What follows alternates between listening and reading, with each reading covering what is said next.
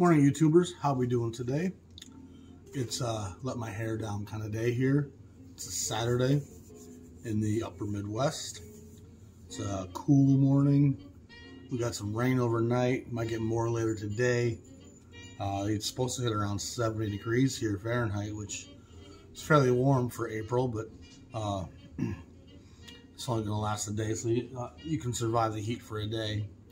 Uh, and it's not heat; it's just when you're coming out of winter, I don't want that sudden switch to the warm muggy. I want I want 50s and 60s for a while. Uh, today I want to talk to you about something that I think might be useful to some people, and it's how to buy records from Japan. and the thing you don't want to do when you buy from Japan is buy one title. Okay? Don't buy one record because the shipping is going to almost double your costs and it's going to be uh, not a very wise investment. You know, I mean, you can, you know, and I've done it, but it's not to be done. Uh, I want to first of all say the Japanese are essential places for us to collect jazz records. And as vinyl went out of favor here, and as jazz lost its audience in America, jazz only grew in popularity in Japan in the 60s, into the 70s, into the 80s. And in the 70s, they started some really great reissue programs. And I've talked to you a lot about the new wave of reissues here in North America. You know, the Tone Poet, the Crafts, the Universe, all the stuff that's coming out right now, the Verve, uh, Impulse stuff.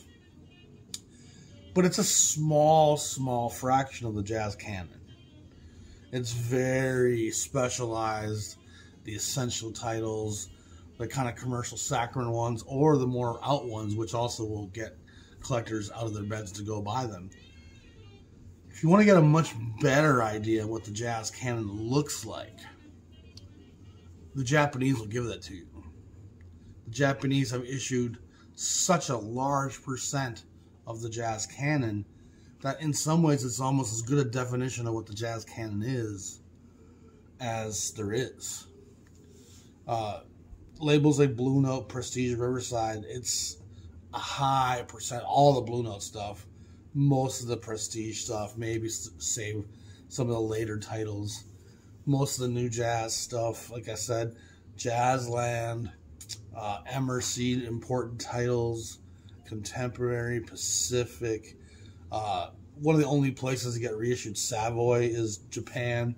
Uh, Europe's actually done a few Savoy titles. Uh, it's a great place to get a bearing on how broad the canon is. They've done some Argo titles out of Chicago, less there than maybe some of the other labels. Uh, and a lot of the Argo titles are fairly obscure names, which kind of also is a measuring stick of what's in the canon and what's not in some ways. And there's a lot of great stuff that got recorded in the 50s and in the 60s that doesn't make the canon. It didn't become part of the vocabulary enough for it to have longevity, which doesn't make those records not valuable. They're still important pieces. Uh, it's like saying, oh, we don't want to read the Red Sea Scrolls because it's not official canon. Uh, that can actually inform the canon. It can actually tell you a lot about the legitimacy of what you claim to be the canon. You know, uh, so there's a lot of value in non-canonical jazz, and the definition of what's canon and what's not is very open for debate. In some ways, the broader your knowledge goes, the broader the canon becomes to you. You know, so to me, a guy, guy like Scott Baldwin, the canon's universally big. To someone who's a beginner, it feels like it's a few miles, a few Coltrane, a few Monk, and a few Mingus. You know, it's it's there's a very different definition there. And if you went by the modern reissue programs, you're going to miss about 90% of the jazz canon. And it's getting better. They're putting more and more stuff out all the time. Uh, they're doing them in fairly limited runs. And it seems like the more record's in demand, the smaller the, the, the pressing amount tends to be, which is also kind of counterproductive. But it's it's protecting the cost of the records and uh, it's protecting the value of the old ones to some degree as well. I think uh, if you flood the market with too much of it, you bottom out the prices for that release, and so a lot of stuff's being re- reissued in fairly small quantities where the demand scoops up every pressing in the first few days, hours, weeks. And in essence, you didn't even relieve the tension on that title. You kept the demand high. And of course, money rules the day as it always does. But if you want to get a much better, broader definition of what the canon looks like, uh, the Japanese are a great way to go. And you can access that several different ways. Discogs when you look up records, will often, will almost always give you uh, most of the major releases of jazz records in in the in the descriptions. You know, I mean, if you go to that spot, it can say all editions of this record, and you can scan through the original American releases, the stereo release when it came out, uh, early Japanese, European, fresh sound, whatever labels you got. Modern reissues will be listed as well. And that's more if you're looking for a specific title and you look it up and like, oh man, there's nothing in America uh, of that original pressing. And there's two original pressings, and they're 400, 800 bucks. And a lot of those original expensive America pressings tend to be in places like Italy and Spain and Germany and Switzerland and uh, even Japan has a lot of original American pressings. Uh, if you don't know about this, in the 80s and 90s, a lot of Japanese record stores came over to America and bought up pallets of American vinyl, not just jazz, all kinds of vinyl.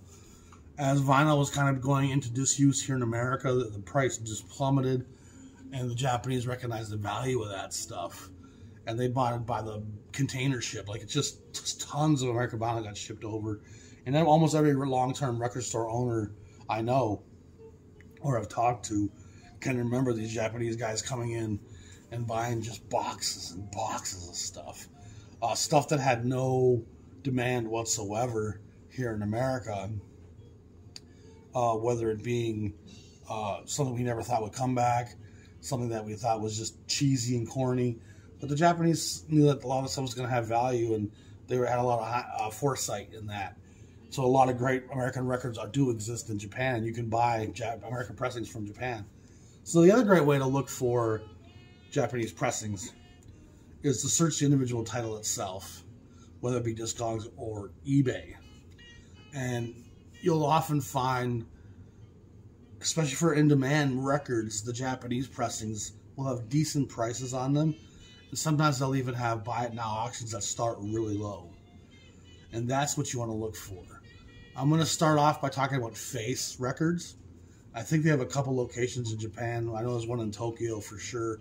And there's one in New York nowadays as well, which I bought a few records from. The New York store seems to be kind of small, and they don't have nearly the inventory that the, the Tokyo store has. Uh, and I'm guessing the Tokyo store is probably supplying a lot of the Japanese, a lot of the New York store location stuff.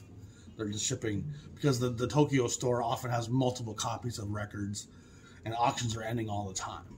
And the Face site on eBay there's a lot of records that'll be buy it now price that are in the 30s 30 40 25 dollar range.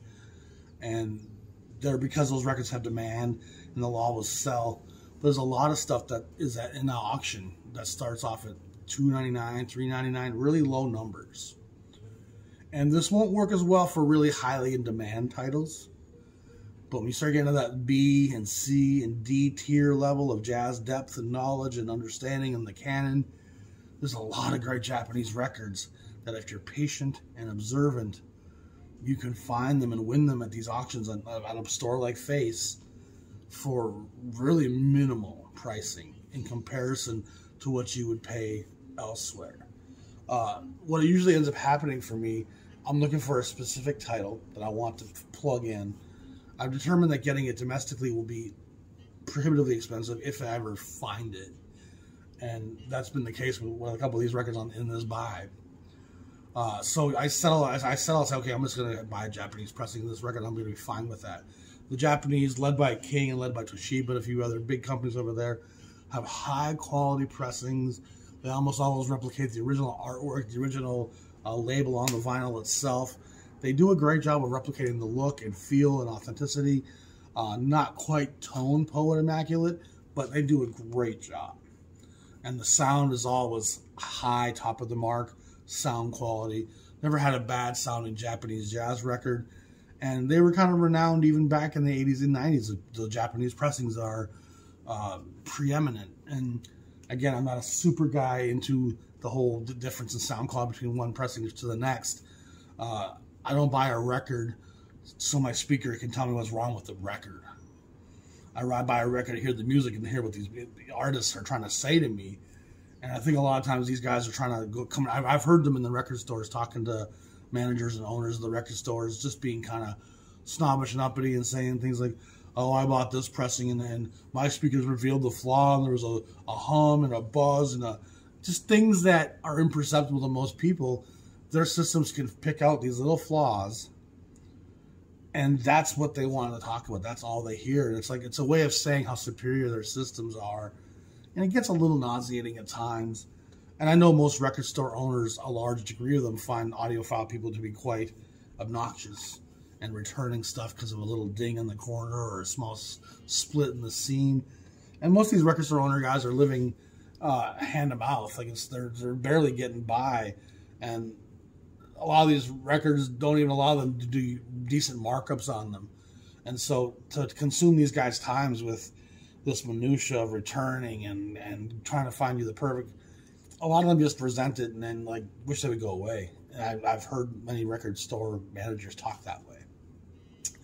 I think that's partly what shaded my feeling towards them. And I, A, I've never been concerned about that aspect of it. I'm buying old records. I, I don't mind a few imperfections. Even when I buy a new record, I'm not going to be like, oh my god, there's a, there's a ding on the corner of the sleeve that makes it invaluable to me. I can't I can't have that. So I'm going to show you the record I meant to buy last. But when I find a record I really want to buy, I'll go to a store like Face and I'll search for it. And oftentimes they'll have several copies of the titles I'm looking for and I'm and they have a really great selection. They really do. From Coltrane and Miles to Blue Note to Prestige, there's just these auctions will have tons of great jazz pressings, often multiple copies of things. So you can find the stuff you're looking for in Japan, and your knowledge will grow exponentially because there's so much cool vinyl jazz wise that's available in Japan. And like I said, it will help you redefine what the canon looks like. And so there's a lot of titles in there that you're gonna not know maybe necessarily, but if the Japanese bother to reissue it, it is, it is of importance. It truly is, and I'm sure that goes true for the 70s and 80s and 90s jazz, which I know far less about. I'm a 60s and 70s guy and a 50s guy, obviously. So the first record I want to talk to you about is by the great Jimmy Forrest, and this wasn't the record I was looking for, but once I knew I was going to buy this one record, which I'll show you in a minute I quickly searched what was ending coming up in the next few days, and I marked a few other, like watched a few other records that I'm like, oh, I wouldn't mind having that. I'll take that. I'll take a Japanese copy of that. And that's one of the things you have to kind of determine in your own mind is how rare is this record going to be in America? Uh, am I willing to settle for a Japanese pressing? Some of the old Verve titles that I'm looking for still from the early 81, 8200 part of that sequence the North American pressings aren't that rare or that tough to find or that expensive. And so I'm going to hedge my bet some and, and bid low on a Japanese title because I'd rather have the old Verve if I can find it. Those old Verves sound great. So first guy I bid on is a, is a kind of a, one of those third, fourth tier legends, the great Jimmy Forrest. And he's a fantastic player, uh, mostly on the tenor. Uh, he spent time with Basie uh, he's one of those guys that has a lot of rhythm and blues, gospel in his sound. He plays very soulfully, uh, very. Uh, there's a moan, uh, uh, a pain, and the virtuosity is a byproduct of it. It's not the intention to be. Look how great I am. Look how much of a great player I am. My expression is just a release of my experience and my emotional state and he plays very much from that place. He's not like this technically proficient acrobat. He's much more of just a, a gutsy player, which as I've gotten older, that's the jazz I'm looking for often. His work at Prestige and New Jazz is really worth seeking out as well. But Jimmy Forrest had a record on Delmark, the great little Chicago label run by Bob Koester, uh, called All the Gin Is Gone and I think it was recorded in 50, mid 50s. I think it was recorded, maybe late 50s. And it's got Grant Green, Harold Mabern, Gene Ramey, and Elvin Jones on it. So it's a great little record. It's got several different covers. This is the cover I could afford. The original cover with the gin bottle on it's really rare and really expensive, and I've never come across it to be honest. Uh, but there was a second issue on Delmark called Black Forest, and the first one was called All the Gin Is Gone. And Black Forest was kind of stuff left over from that session that Delmark finally reissued numerous years later, to be quite honest. Uh, 404 was the first one. This one's 427. And Delmark's jazz release schedule was fairly light year to year because they're doing a lot more blues stuff than they are jazz stuff. So the 400 sequence grows quite slowly. So I don't think this one actually came out until probably late 60s, early 70s initially on Delmark. Uh, I've never been able to find a copy of it affordably. And I found this in the Face Record store. And I knew that this had a chance to end at a decent price because only so many people are searching for Jimmy Forrest at a given time. And so I decided to watch it. And as bidding was ending, I put a decent bid on it and I won this record for $18.50. It's a great price for an old Jimmy Forrest on Delmark. Again, it's a Japanese pressing, but it's a great sounding pressing. Uh, mint condition. They got the plastic sleeves and everything. And so these are the two Delmark uh, Jimmy Forrest records. And I was able to get the second one very affordably. I was very excited about that. The second record I bid on, and I I did this bidding last week, and they shipped this stuff DHL. So I literally got it four days later, which is incredible. The second record I bid on, I bid on a couple copies and didn't win this one. And then there was a third copy which I bid on, and I ended up winning this one for three dollars and twenty five cents. And the original pressing had a blue cover, and some of them of these reissues have kind of this more purplish, pinkish cover, uh, but the same uh, photograph. And uh, this is the great George Wallington, who was Sicilian born, but immigrates to New York at a young age, changes his name to George Wallington. He was a real fashionista, loved to wear fancy dress shoes, you know, fancy kind of designer clothes. That was kind of his thing, even in school. And so he got the nickname Wallington as kind of this uh, bougie dresser with like, this flame and uh, style that he liked to possess. And so he, he adopted the name George Wallington as his jazz name. And this is the George Wallington Quintet at the Bohemia, a famous little New York landmark. And he's playing here with the great Jackie McLean, Donald Byrd, Paul Chambers, and Art Taylor. You have pretty much a Blue Note, prestige, quality session here. Uh, it was recorded in New York, September 1955. And it's originally on the Progressive label, as you can see right there. And Progressive is a very forgotten about label. They have only, I think, two full length LPs. Uh, this one and the next record I'm going to show you, I think, are the only two full length LPs Progressive put out in 55, 54. And then they went the way of the Dodo Bird. And then the label was actually resurrected in the 70s. And there's a lot of great titles on uh, Progressive in that 70s reiteration. And it's somewhat linked to the original Progressive, but it's not the same entity. You know what I mean? Uh, any more than Blue Note from the 90s is the same as Blue Note from the 50s. But before uh, the, the LP era dawned, in 53, 54, they do about four or five, 10 inches as well. So it was a pretty small imprint that made a couple pretty important and, and incredible recordings. Again, this one's kind of the one that's been on my radar for a long time. I was kind of one of the blue ones. Think the blue one's more original. But uh, $3.50. Beautiful old pressing from Japan of the Bohemia George Wallington record. I was pretty excited about it. One of the 10 inches that Progressive does is by the great guitar player. To my tongue, oh my goodness. I gotta pause it for a sec. by the guitar player Chuck Wayne. And there's a great 10 inch right there for you. Chuck Wayne on Progressive Records. Uh, this is from 53 or 54. And Chuck Wayne's a very important guitar player. Uh, he codified and wrote down a lot of jazz chords and how to play jazz guitar and was actually innovative in bringing some changes to how guitar on jazz was played. Chuck Wayne's a great player. His body work's fairly tough to come by. He's got other great records out there. But this was a pretty cool thing to find. And believe it or not, this record's not that expensive as 10 inch. You can find this for 20, 30 bucks. And so that's early 10 inch progressive.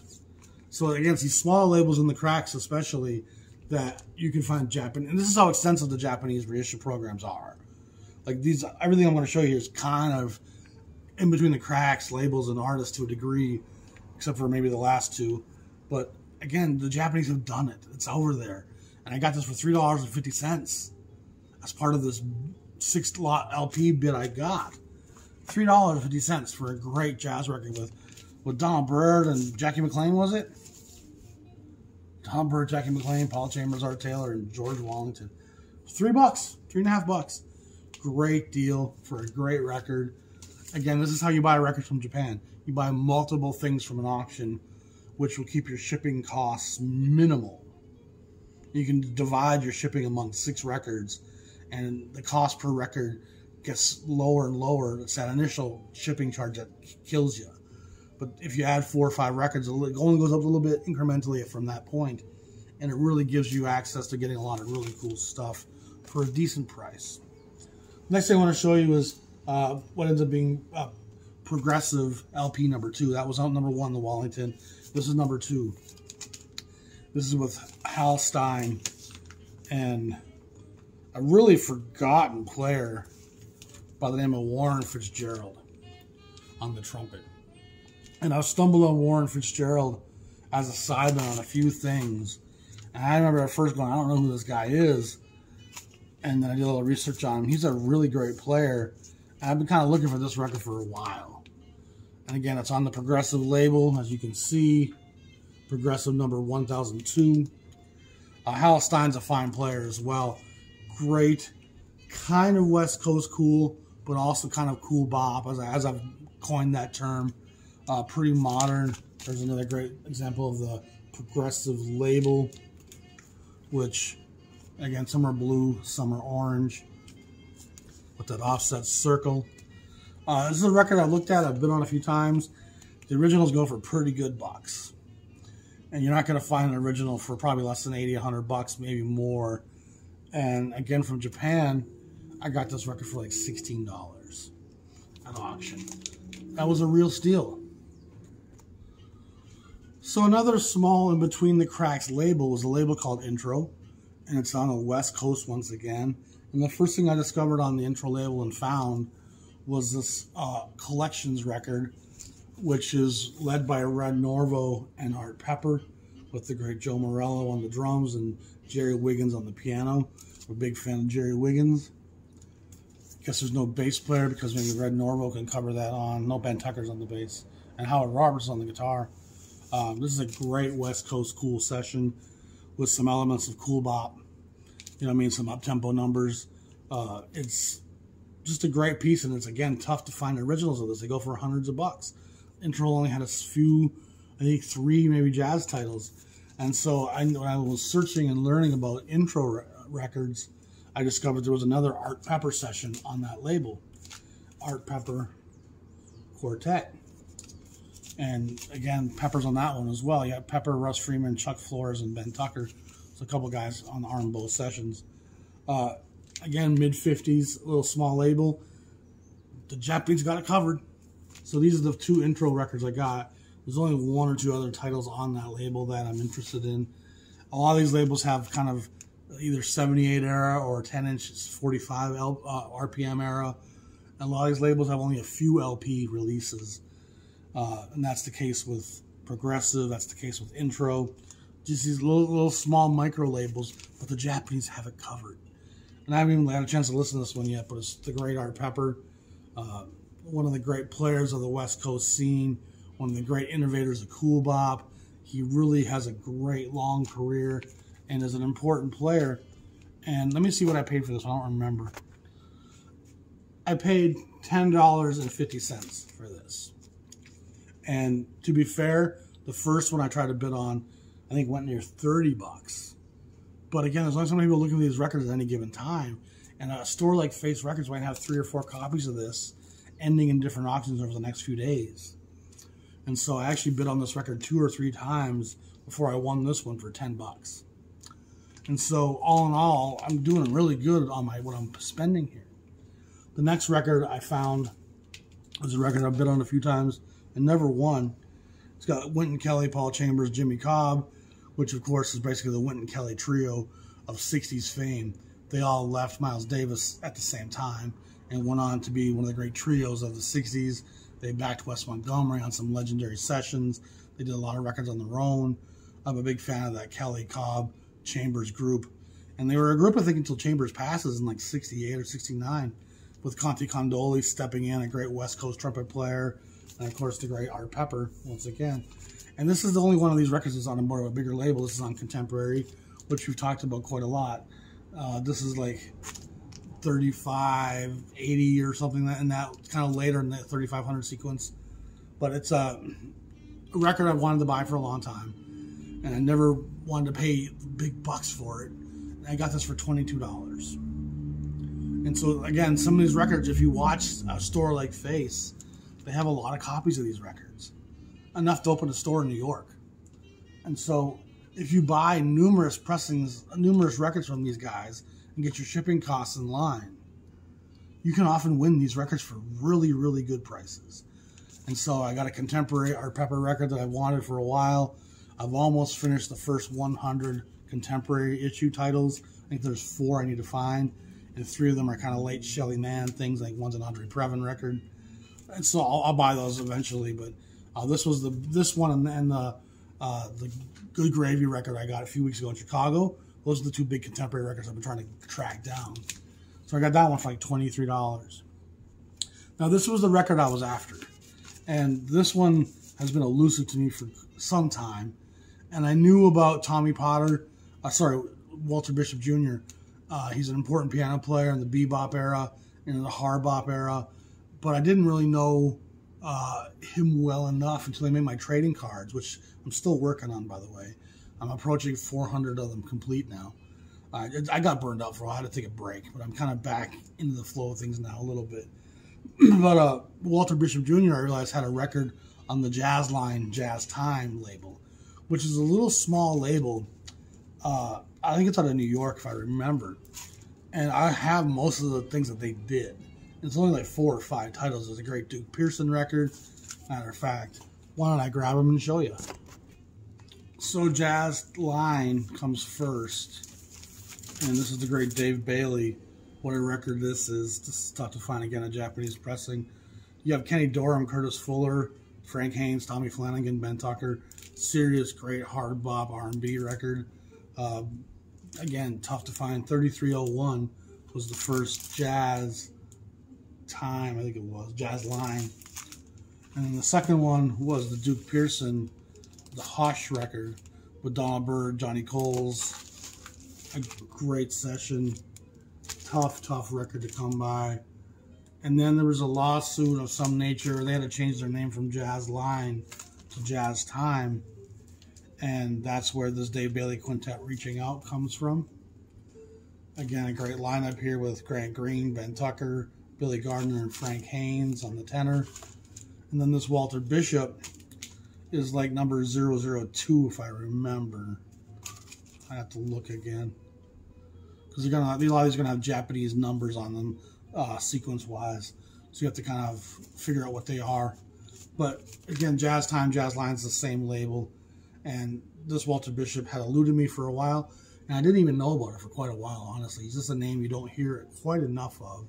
And when I was doing my card for him, my trading cards, I was like, oh, he's got a record on Jazzline. I didn't know that. And so I've been looking for it for a few months. And this record I've watched in Japanese stores, and I've been on a few times over the last month and a half. But I've been kind of broke, so I don't want to spend money on records. So I kept my bids, you know, at the last few minutes, it's under six, eight bucks. So I bid 18 and I lost it. It went for 24. I bid 20 and I lost it. I went for 18. Like uh, most uh, 24. I mean, a lot of times it was it was wasn't going super high, but I hadn't won it yet.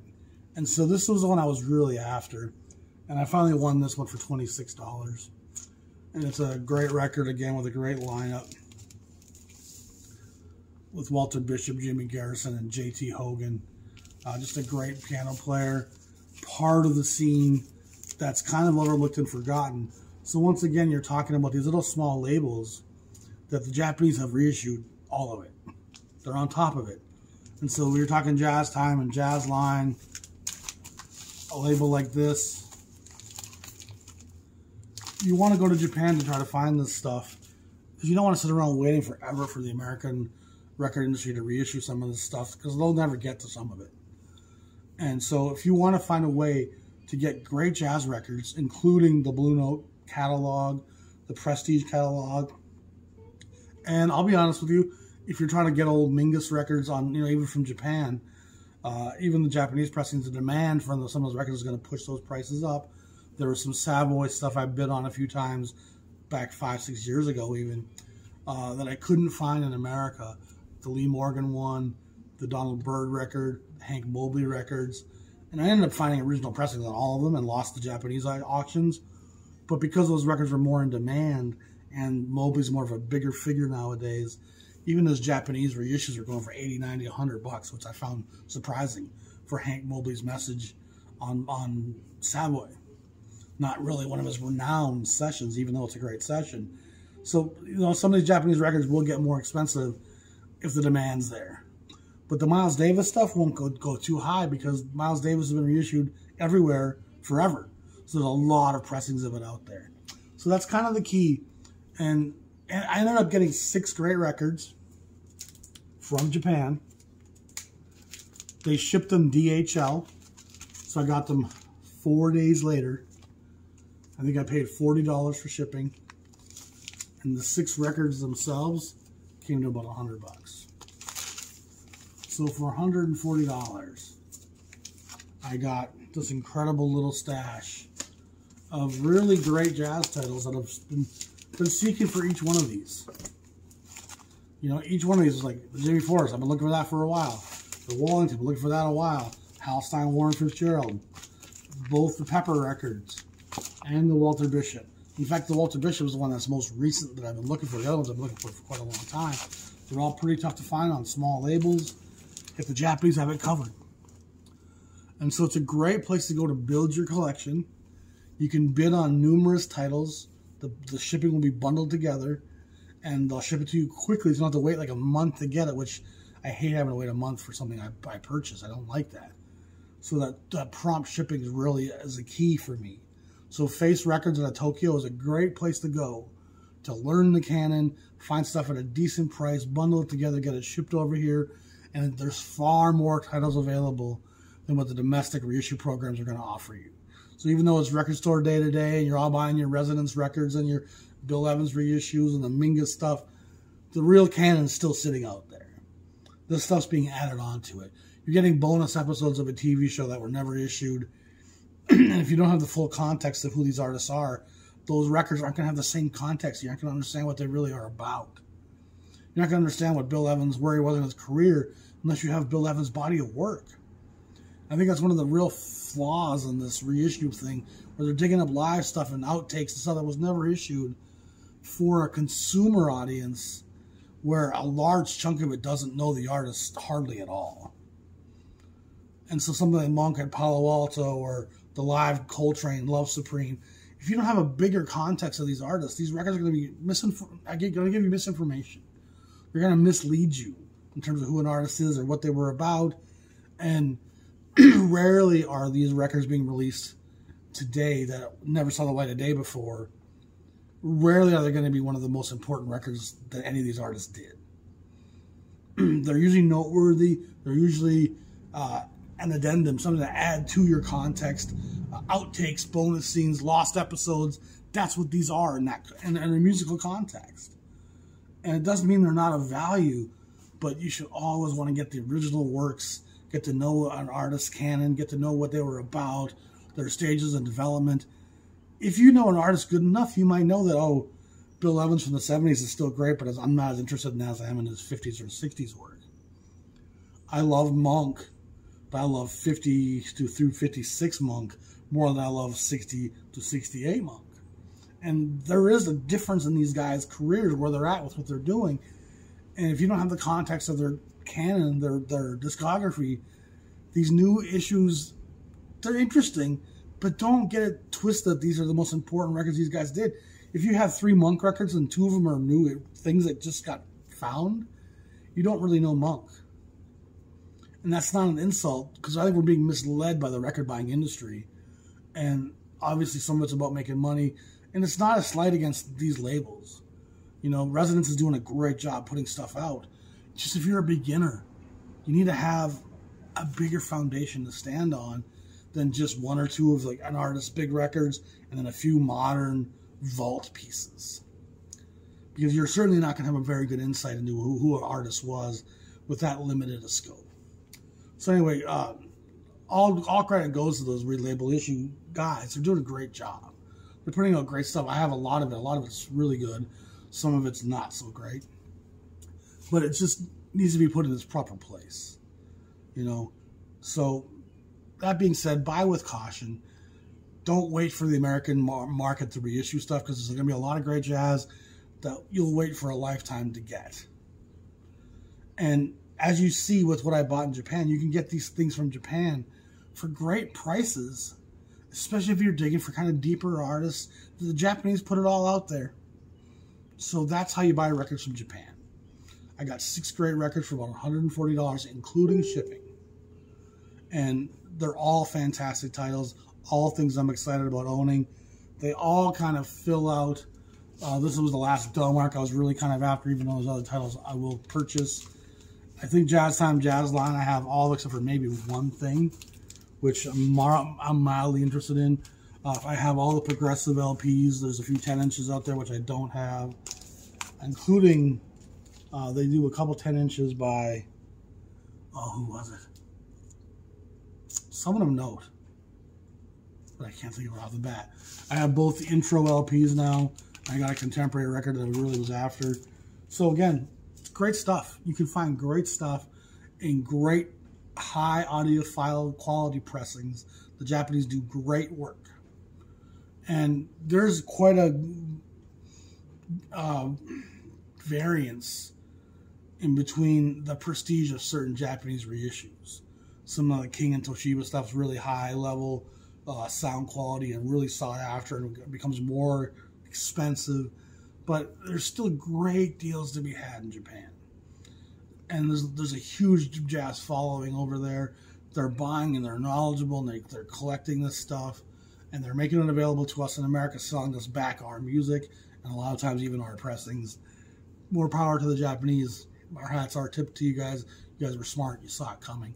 But uh, great stuff. Great way to access and expand your knowledge of the canon.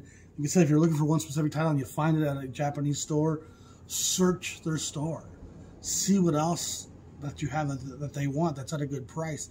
And especially if it's going to be auctions that start low, you got nothing to lose by putting small minimum bids on records and have zero bids on them. I probably bid on three or four other records that I didn't win but I bid really low on them just in case nobody bid on them. And obviously, I got the Wallington for three and a half dollars, three and a half bucks. And so there's there was some other Verve titles that I bid on. Uh, I think a couple were uh, that was a Dizzy Gillespie one early that I don't have.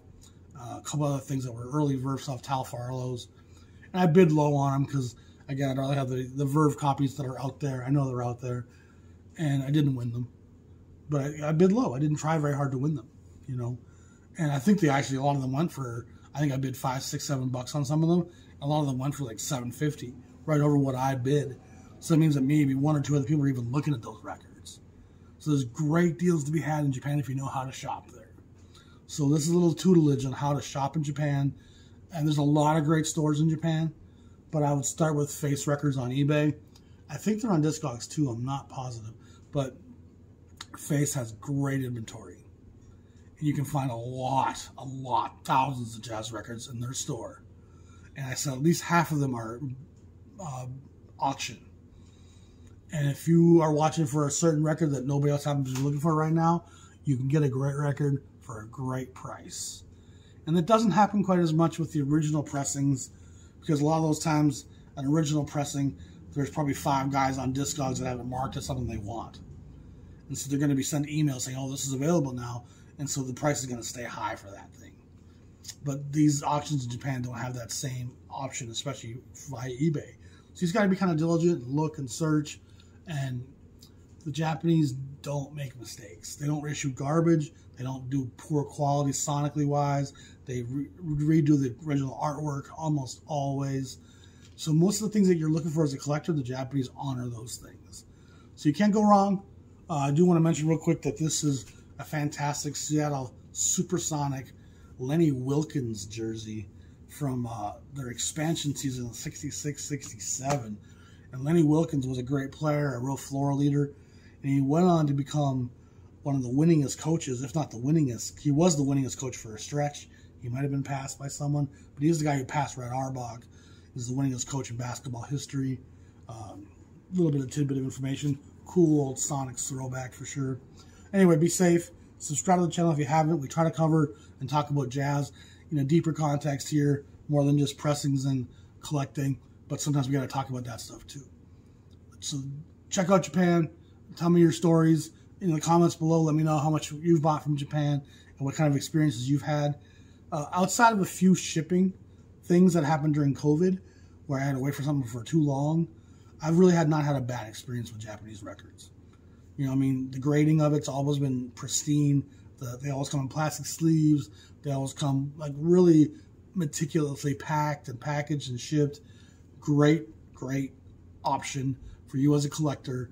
If you're looking for titles and you don't want to spend big bucks on the originals, you don't want to wait for them to be reissued in America, you don't want to stand in line at record store day for something, check out these Japanese stores.